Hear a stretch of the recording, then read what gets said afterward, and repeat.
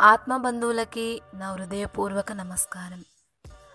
మనం బాహ్యంగా జరిగేది ఏంటి ఎలా జరుగుతుంది అని గ్రహిస్తూ ఉంటాం చూస్తూ ఉంటాం కదా? అలాగే మరి నీ శరీరంలో నీ అంతర్గతంలో ఏం జరుగుతుంది? ఎలాంటి వ్యవస్థ దేనికి పనిచేస్తుంది అనేది ఎప్పుడన్నా గ్రహించారా? ఓకే ఫ్రెండ్స్ అదేంటో చూద్దాం. మనం శ్వాస పీల్చుకుంటూ ఉంటాం కదా? అందుకనే మనం జీవించి ఉంటున్నాం. మన శరీరంలో పది రకాల వ్యవస్థలు పనిచేస్తూ ఉంటాయి. అవేంటంటే ఒకటి శ్వాస వ్యవస్థ రెండవది రక్త ప్రసరణ వ్యవస్థ మూడవది జీర్ణ వ్యవస్థ నాలుగవది కండర వ్యవస్థ ఐదవది నాడీ వ్యవస్థ ఆరవది యూరినరీ వ్యవస్థ. ఏడవది ఎండోక్రైన్ వ్యవస్థ. ఎనిమిదవది అస్థిపంజర వ్యవస్థ. తొమ్మిదవది చర్మ వ్యవస్థ. పదవది పునరుత్పత్తి వ్యవస్థ. అనేటువంటివి నీ శరీరంలో ప్రతిరోజు ఇలా పది రకాల వ్యవస్థలు కేవలం మనం శ్వాస తీసుకోవడం వల్లనే పనిచేస్తూ ఉన్నాయి. మరి ఈ శ్వాస అనే ఆధారం లేకపోతే ఆ పది వ్యవస్థలు కుంటుపడి శరీరం పతనమైపోతుంది.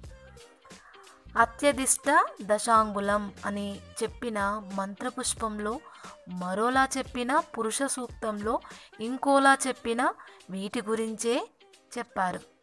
మరి ఈ పది వ్యవస్థల గురించి ఏ డాక్టరుని అడిగైనా ఇంకా స్పష్టంగా తెలుసుకోవచ్చు. మన శరీరంలోకి ప్రవహిస్తున్న శ్వాస దాని యొక్క మహావిజ్ఞానాన్ని మనం తెలుసుకున్నా తెలుసుకోకపోయినా మన శరీరంలో ఈ పది వ్యవస్థలు పనిచేస్తున్నాయంటే శ్వాస తీసుకుంటున్నామని అర్థం. వ్యవస్థ అనే పదానికి అర్థం ఏంటి ఓ విస్తృతమైన సమూహము ద్వారా పనిచేసేది అని.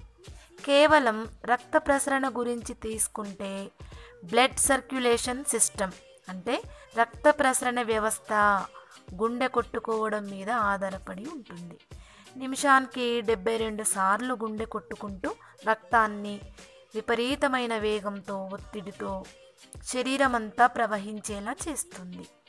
గుండె ఒక్కసారి కొట్టుకున్నప్పుడు ఆ వ్యవస్థ పనిచేసే తీరుని గమనించగలిగితే విపరీతమైన ఆశ్చర్యం వేస్తుంది. లబ్డబ్ అని కొట్టుకునే గుండె నిమిషానికి డెబ్బై రెండు సార్లు సంగతి అలా ఉంచితే ఒక్కసారి కొట్టుకుంటే మన శరీరంలో రక్తం ఆరు వేల మైళ్ళు పంపు చేయబడుతుంది. మన శరీరంలో ఉన్న రక్తనాళాలను కొలవగలిగితే ఆరు వేల మైళ్ళు పొడవు ఉంటాయి.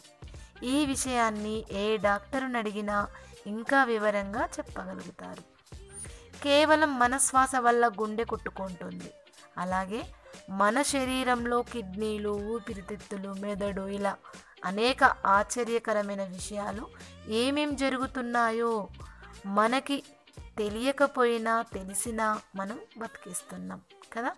ఇది గుడ్డితనమే అనిపిస్తుంది. దార్త రాష్ట్రత్వము కళ్ళున్న గుడ్డితనము. శాస్త్రజ్ఞులు ఏకకంఠంతో మన శరీరం గురించి చెప్తున్నది ఏంటంటే ఈ శరీరంలో ఉన్న జింక్ గంధకం కోబాల్ట్ ఐరన్ ఇలాంటివన్నీ తీసివేస్తే లెక్క పెడితే దీని విలువ కేవలం తొంభై నయా పైసల కంటే ఖరీదు చేయదు అని చెప్తున్నారు. మరైతే ఈ శరీరంలో ఉండాల్సినవన్నీ సమపాలలో ఉంటే మనం అనుకున్నట్లు పది వ్యవస్థలు అద్భుతంగా పనిచేస్తాయి. వాటి అద్భుతమైన పనితీరుని విని ఆశ్చర్యపోతాం తప్ప మనం చేయగలిగిందేమీ లేదు. ఉదాహరణకు యాపిల్ ఆకారంలో నూట యాభై గ్రాములు బరువు ఉండే కిడ్నీస్ అంటే మూత్రపిండాలు నాలుగు అంగుళాల పొడవు రెండున్నర అంగుళాల వెడల్పు ఒకటిన్నర అంగుళాల ఎత్తు కలిగి మన శరీరంలోనే రక్తాన్ని శుద్ధి చేస్తూ ఉంటాయి.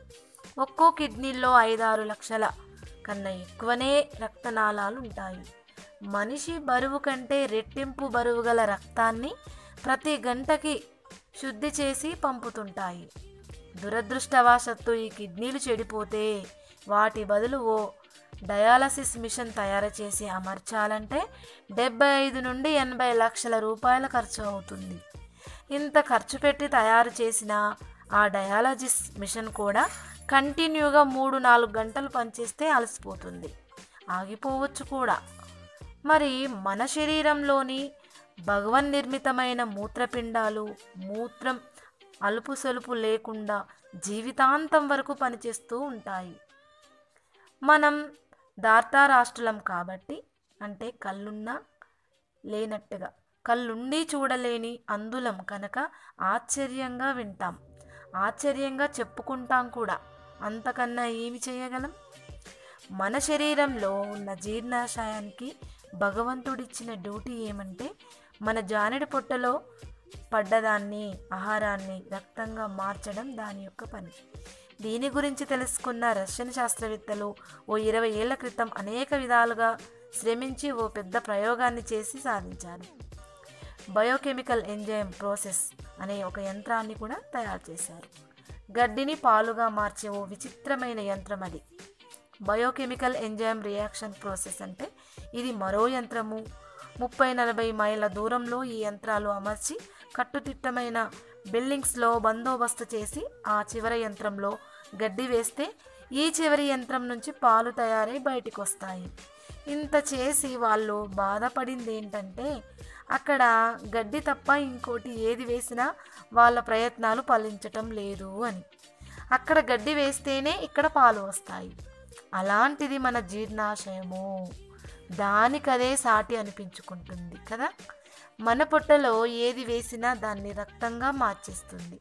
అలా ఈ శరీరం అంతా కూడా అమితాశ్చర్యకరమైన అద్భుతాల గనులే ఉన్నాయి. చర్మం కళ్ళు చెవులు మెదడు ఇలా దేనికదే గొప్ప. ఏది చూసినా ఆశ్చర్యాలే.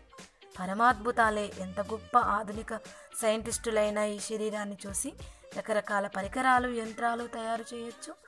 కానీ ఈ శరీరంతో సరితూగగలిగే యంత్రాన్ని తయారు చేయడం అసంభవం అని వారే ఓ నిర్ణయానికి వచ్చి తేల్చి మరీ చెప్పారు. ఇంతటి ఆశ్చర్యకరమైన ఈ శరీరం గురించి ఆశ్చర్యంగా మాట్లాడుకోవడం ఆశ్చర్యంగా చూడటం ఆశ్చర్యంగా వినడం తప్ప ప్రస్తుతం మనం ఏమి చేయలేకపోతున్నాం కదా? దాన్ని గీతాచార్యుడు రెండవ అధ్యాయంలో ఇరవై తొమ్మిదవ శ్లోకం ద్వారా చెప్పాడు. దాని యొక్క తాత్పర్యం విందాం.